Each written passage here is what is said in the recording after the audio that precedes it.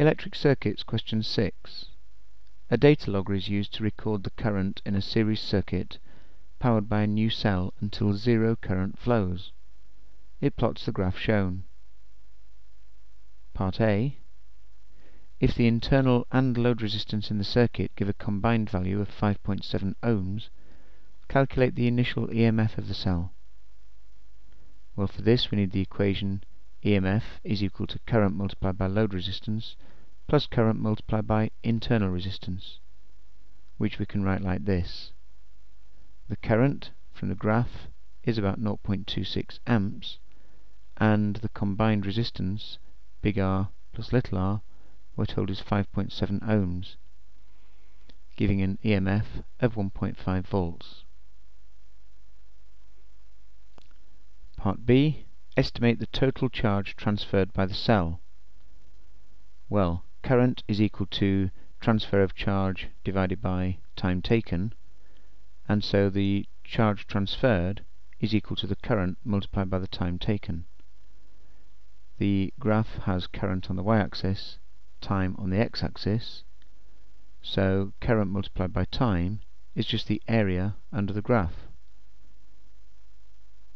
I can estimate that with a shape something like this. I've gained a little bit here, but lost a little bit there.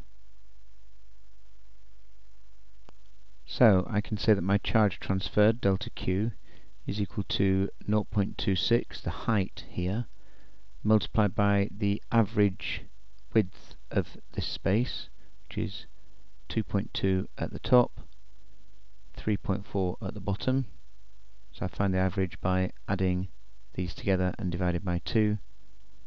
Not forgetting that my time is in hours, so I need to multiply this by 60 to get it into minutes, and multiply by 60 again to get it into seconds, giving a charge transferred of 2.6 times 10 to the 3 coulombs. Part C. If the cell produced an average EMF of 1.3 volts, calculate the work done by the cell. Well, the EMF is equal to the work done over the charge, which I can rearrange as the work done or the energy transferred is equal to the EMF multiplied by the charge.